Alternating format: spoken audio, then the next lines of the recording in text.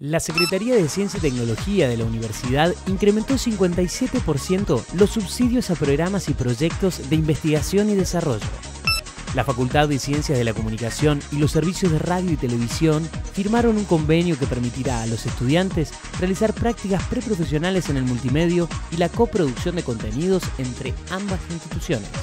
En una jornada histórica esta semana culminaron las elecciones de la Casa de Trejo, a través de las cuales por primera vez se realizó en toda la universidad la elección directa de autoridades y se votó con boleta única. En siete facultades se renovaron decanos y vices. Este domingo a las 21 por Canal 10, Curioso por Naturaleza, abordará los consumos problemáticos en adolescentes.